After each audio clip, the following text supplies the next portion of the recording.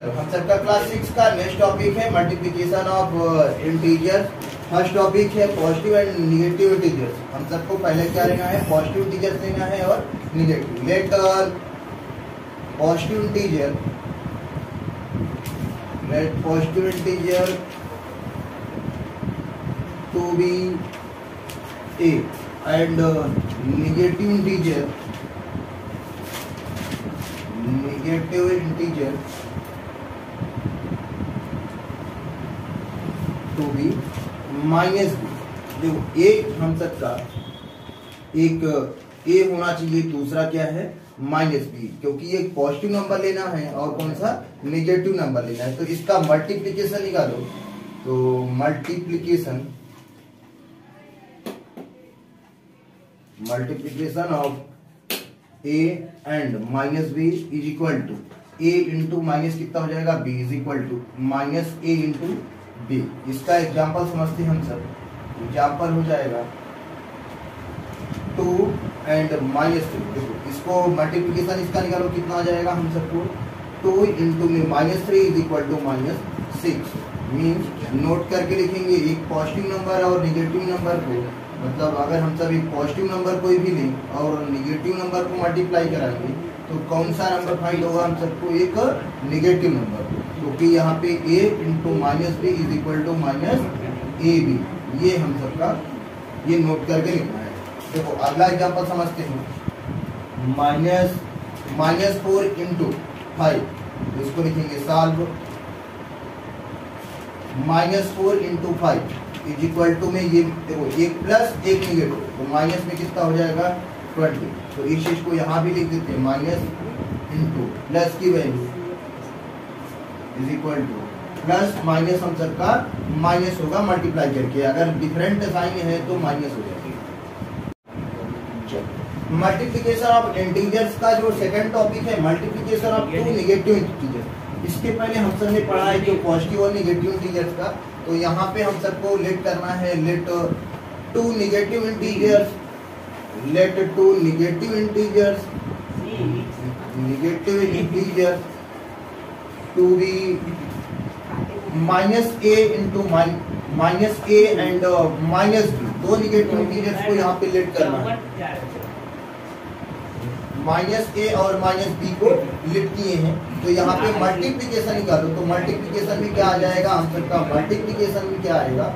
Multiplication of minus a and minus b तो multiply कराओ इसका। Minus a into minus b तो हमने बताया कि अभी सेम साइन अगर है, दोनों सेम साइन है।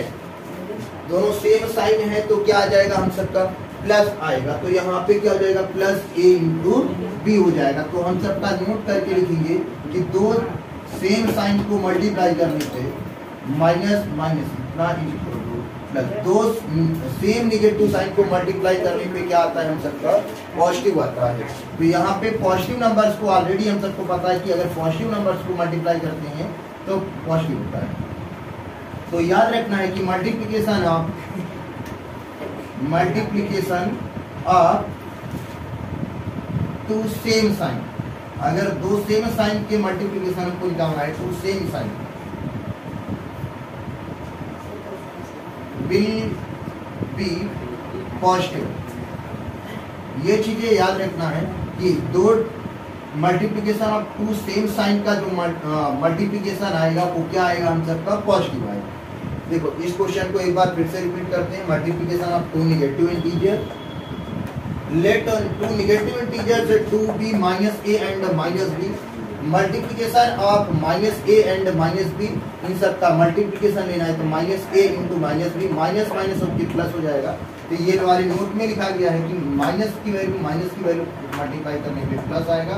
प्लस प्लस की वैल्यू होती है प्लस होता है। Multiplication of two same sign will be positive ये चीज़ें हमेशा माइंड में याद रखना। उसमें पॉजिटिव और क्या था? पहले वाले में पॉजिटिव और निगेटिव का मल्टीप्लाई करते तो क्या आता था? निगेटिव साइन लेकिन यहाँ पे दो सेम साइन को मल्टीप्लाई करने पे क्या आएगा हम सबका positive sign multiplication of integers का हम सबका थर्ड टॉपिक है। Multiplication of multiplication of more than more than two negative integer negative negative integer चलो, अभी तक में हम सबने कितने इंटीजर्स को पढ़े हैं? टू निगेटिव इंटीजर्स को। अब इसमें क्या है? More than two negative integer दो से ज़्यादा होंगे इंटीजर्स तो यहाँ पे लेट करते हैं। Let negative integers let negative integers let negative integers to be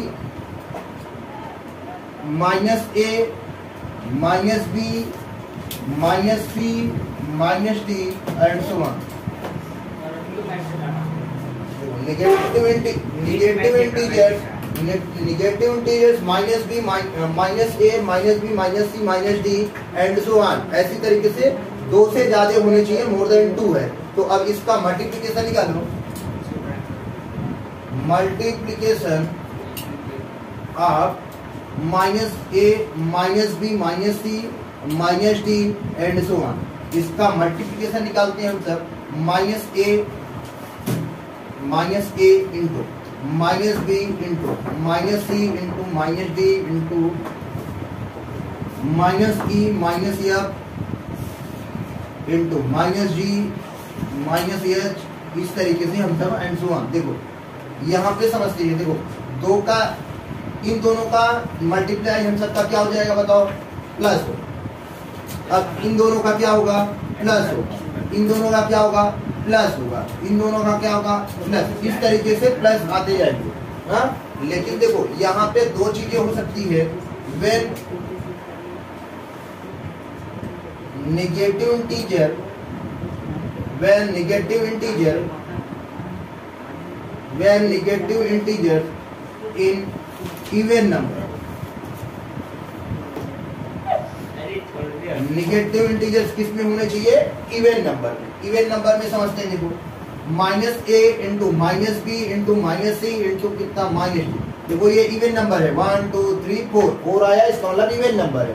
देखो माइनस माइनस मिलके प्लस होंगे। प्लस ये माइनस माइनस मिलके ये प्लस ये प्लस हम सबको पता है कि दोनों प्लस जब सेम साइन के हो तो उसका मल्टीप्लिकेशन क्या आता है? प्लस आता है। तो यहाँ पे देखो, ये हम सबका प्लस ए बी सी और क्या आ जाएगा? डी आ जाएगा। अब आगे देखो। When negative integer when negative integer when negative integers in odd number अभी हम सबने इवन नंबर को समझा, अब ऑड नंबर को समझते हैं। यहाँ पे समझो minus a into minus b into minus c into minus d into में कितना? माइनस ई अब यहाँ देखो one two three four five और नंबर है। तो यहाँ देखो, ये सभी, ये तो प्लस हो जाएगा, फिर ये प्लस होगा और ये माइनस तो देखो, दो सेम साइन है प्लस आएगा, एक डिफरेंट साइन है, इसका मतलब निगेटिव साइन आएगा। तो हम सबने, हम सब डायरेक्ट लिख सकते हैं कि minus a b c d और ई e. इसका मतलब है कि when negative integers in even number तो इवन नंबर में है तो क्या क्या आता है? Plus when negative integers in odd number तो क्या आएगा? माइनस चलो।